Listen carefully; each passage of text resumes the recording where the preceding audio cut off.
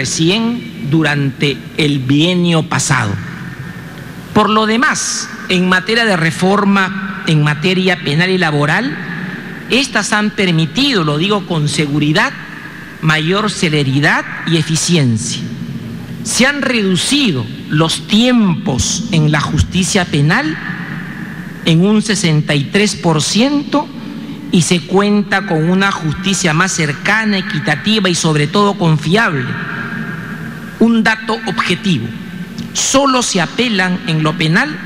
el 36.2% de las sentencias de primera instancia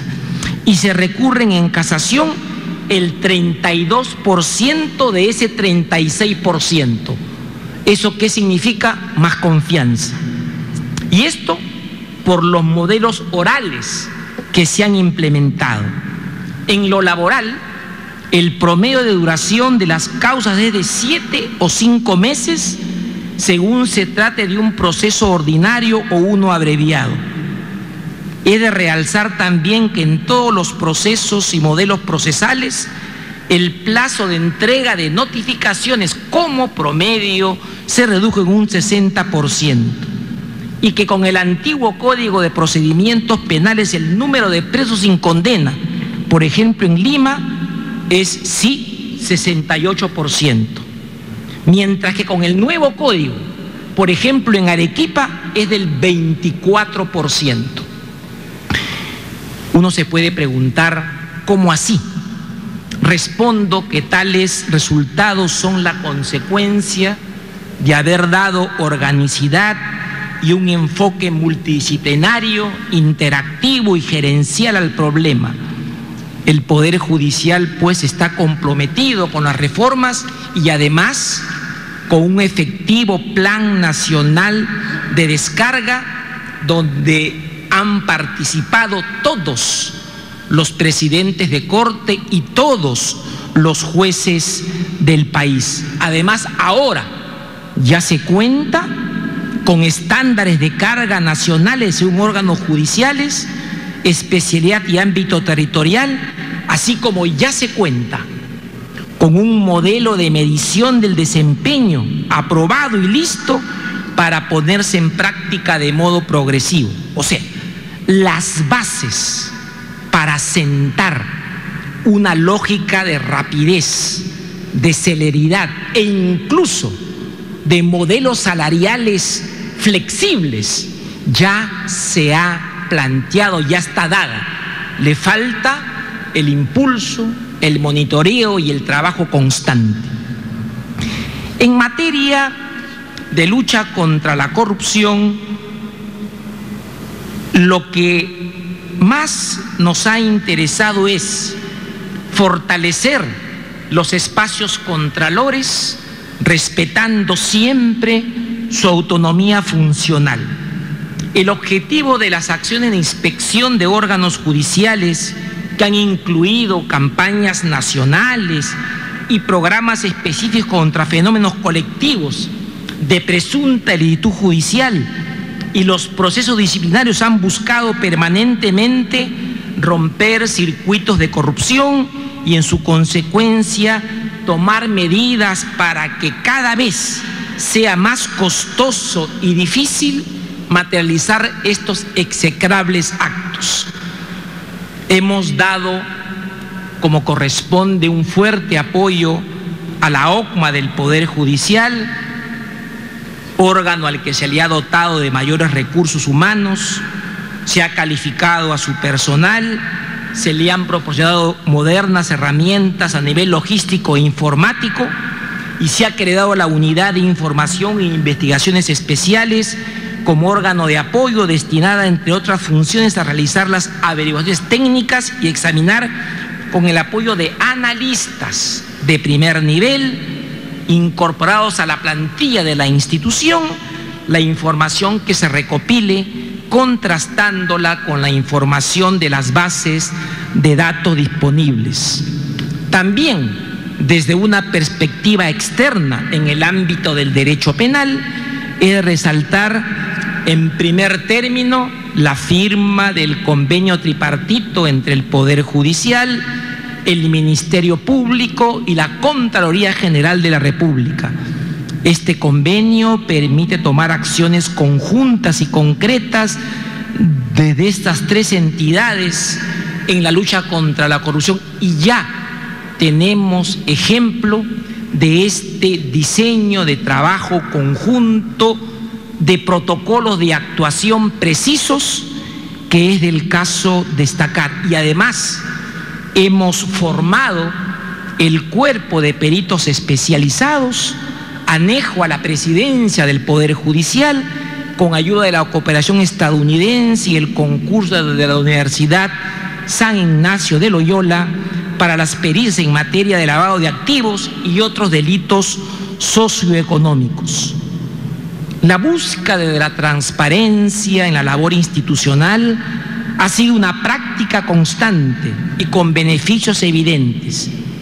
Basta que ustedes observen el portal web del Poder Judicial y allí encontrarán información sobre presupuesto, finanzas, recursos humanos, indicadores de desempeño y todos los documentos de gestión que hace 10 años que no se actualizaban. La modernización en la gestión institucional es uno de los más importantes logros del bienio. Es posible resaltar como obra manifiesta lo siguiente un efectivo desarrollo tecnológico, un mejor ordenamiento de la gestión, la consolidación de la descentralización administrativa y una expansiva capacitación y profesionalización de los jueces y del personal administrativo. Hemos potenciado el plan estratégico de tecnologías de la información, hemos creado unidades ejecutoras que en el 2011 el 31%, perdón, el 2012 tuvo como gasto, como, como trabajo propio, un 31% del presupuesto institucional y este 2013 va a tener el 53% del presupuesto para ejecutarlo, con todo lo que esto significa en beneficios para cada corte que es un programa que esperamos culmine en dos años. Y aquí no puedo dejar de mencionar eh, el relativo avance en orden de la nueva escala de remuneración de los trabajadores. Es así que después de más de 10 años se consiguió un incremento en su remuneración básica de 402 soles, situación que ha sido reconocida por los dirigentes de la Federación Nacional y del Sindicato de Lima, quienes agradecieron nuestro esfuerzo, el cual empero, conforme a los acuerdos firmados en su día, debe continuar con la consolidación de un segundo tramo en el desarrollo de, de dicha escala. Eso es parte de acuerdo que celebramos en el Ministerio de Trabajo. Sabemos que falta mucho por hacer, aunque es del caso acotar, y acá hay que ser muy claros, que toda reforma o modernización del Estado, en especial de su aparato judicial, toma su tiempo. Todo, pese a lo anotado, considero que estamos en el camino correcto de lo que llamo una innovación sensata. Por tanto, ha de seguirse una misma línea para garantizar la real meritocracia de todo el personal judicial, el debido planeamiento y automatización de la gestión administrativa y judicial y el fortalecimiento y flexibilidad de toda su organización a partir de la real incorporación de garantías imprescindibles del Poder Judicial como su autonomía económica. Y acá voy finalmente a un tema que creo yo puede resumir los últimos diferendos que han sucedido. Y lo digo con absoluta buena fe y con esta voluntad de contribuir y de generar un diálogo profundo, un diálogo serio entre todos los poderes públicos. Y siempre aquí realzo esta línea precisa que ha dictado el señor presidente de la República a los efectos de ingresar a trabajar de modo serio en la lógica de autonomía económica y de salarios de los jueces. Cuando se habla, y acá quiero ser muy claro, de autonomía institucional, no solamente se hace referencia a la capacidad de tomar decisiones propias, sino muy especialmente a la facultad de emitir un conjunto de normas dentro de una legislación marco, tanto para concretar dichas decisiones, cuanto para materializar el funcionamiento institucional dentro de un ordenamiento respetuoso del derecho objetivo. Sin esa capacidad de poder decidir y además de dictar las medidas que hagan factible y efectiva dicha decisión, el Poder Judicial necesariamente autónomo para sostener la garantía institucional, la independencia de los jueces, difícilmente podrá cumplir a cabalidad la función que las leyes le encomiendan, conocer, resolver y hacer ejecutar las sentencias que se dicten. Es vital garantizar la posibilidad de que el Poder Judicial genere sus propios recursos económicos sin, por cierto, afectar irrazonablemente a la ciudadanía y sobre todo, sobre todo, que pueda determinar y manejar aquellos recursos que le hayan sido asignados en monto suficiente para asegurar la eficiencia y eficacia de la función jurisdiccional, pues por la propia naturaleza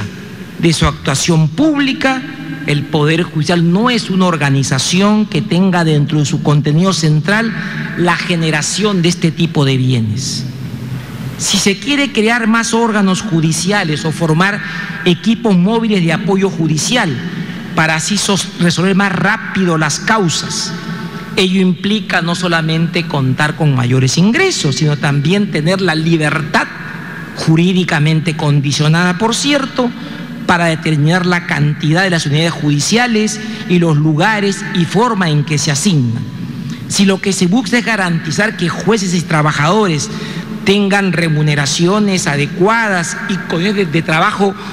prestigiosos, es indispensable facilitar a la judicatura la administración de esos fondos o la autorización para el gasto que permita cumplir con esos fines y con mayor razón en aquellos supuestos en los que se ha podido, gracias a un buen manejo interno, que lo hemos tenido, conseguir que el Poder Judicial, haciendo ahorros, cuente con los fondos necesarios para realizar estas tareas e implementar los objetivos que ya están planteados, no son ilusorios, en la ley de la carrera judicial. El Poder Judicial, pues, no es hoy,